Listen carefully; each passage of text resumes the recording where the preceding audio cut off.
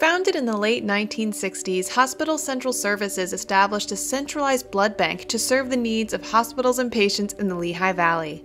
Funded by money donated in memory of the publisher and editor of the Morning Call, Samuel W. Miller, Miller Keystone Blood Center began its 50 year history as a lifeline for the Lehigh Valley and beyond.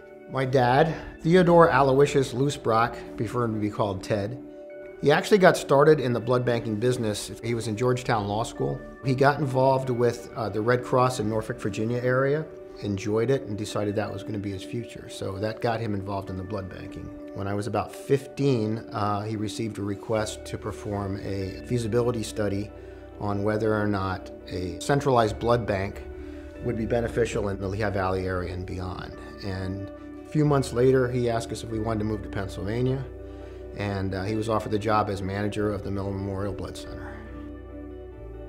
In 1971, the Samuel W. Miller Memorial Blood Center, or MMBC, opened its doors and the first unit of blood was donated.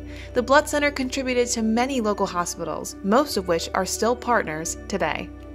13,657 pints of blood were collected in the Blood Center's first year, enough to fill over 1,700 gallons of milk. In 1977, Lyndall Malthen was appointed MMBC's first medical director.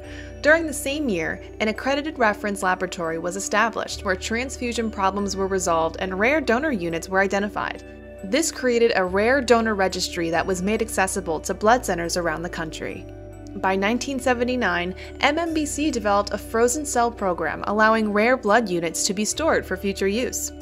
A year later, J. Michael Lee was appointed president and CEO of the Blood Center's parent organization, Hospital Central Services. In 1982, MMBC formed its first board of directors with Theodore Matalevich from Lehigh Valley Hospital, serving as its first chairman and paving the way for so many board members who have been integral to our success. In 1985, donor screenings for HIV antibodies were initiated at MMBC. Joseph Yalow joined the Blood Center as Vice President of Administration, a role he would hold for more than 20 years. In 1988, Dr. Ronald Doman joined MKBC as Medical Director after the passing of Dr. Lyndall Malthen. 1990 was an impactful year as a new 32,000 square foot Miller Memorial Blood Center opened in the Lehigh Valley Corporate Center at Valley Center Parkway. The new center made donations and services more accessible to those in Bethlehem. MMBC crossed state lines in 1993 by becoming licensed blood collection and expanding its customer base. In 1994, Dr. Kip Kuttner joined the Blood Center as medical director. Dr. Kuttner is entering his 28th year of service to the Blood Center and is recognized throughout the country as an expert in transfusion medicine. The first annual Cruise Aboard the Lifeline fundraising event was held in 1995 and would continue annually for the next 25 years. In 1999, MMBC wanted to recognize outstanding volunteer participation, and it created its first annual Student Volunteer Scholarship Award. This award was given to a graduating high school student. Two years later, MMBC merged with Keystone Community Blood Bank in Berks County, furthering its community reach. The Blood Center also became the fourth non for profit community blood organization in the United States to achieve an important quality certification. 2003 was the year the Blood Center became what it is today. MMBC became Miller Keystone Blood Center, or MKBC, and launched a new website at giveapint.org.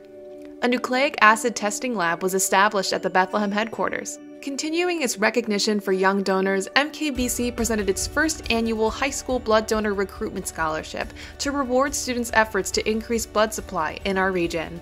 Our community had a lot to do with the success of Miller Keystone Blood Center, including our selfless donors, all of our passionate staff, local leaders, and hospital partners. We also get all of the students and the younger generation involved when we do blood drives at schools and colleges in the area. In 2008, MKBC was named a Center of Excellence by manufacturer Gambro BCT. One of three centers in the nation to receive this designation, MKBC serves as a model for use of the Vista Information System software.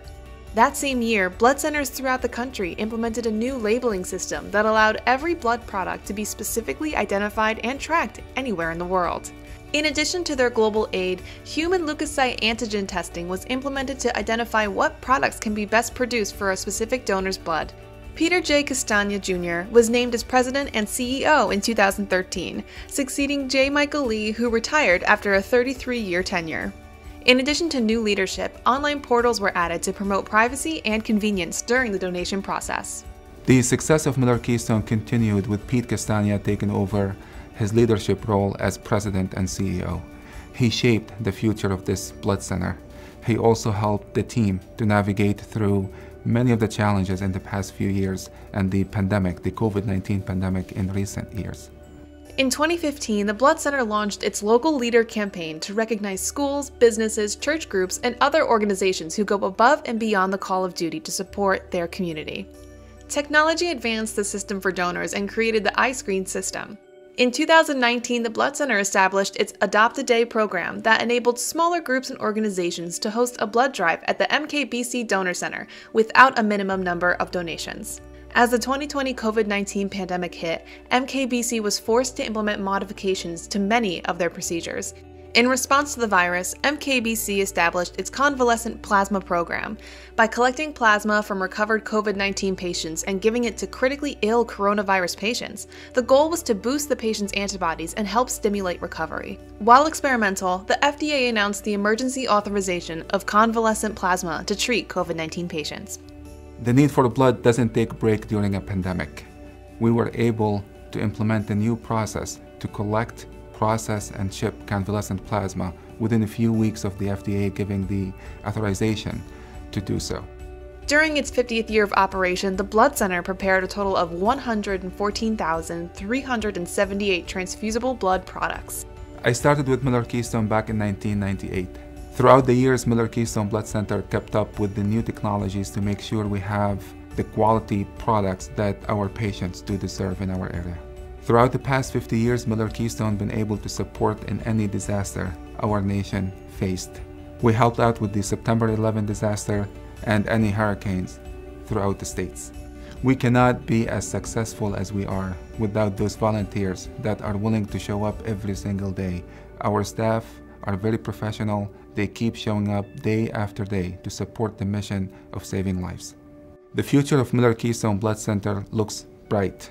Our job is to make sure we are by your side to support your mission and to support your growth. We will continue to look for new technologies to make sure that we have quality products to our patients.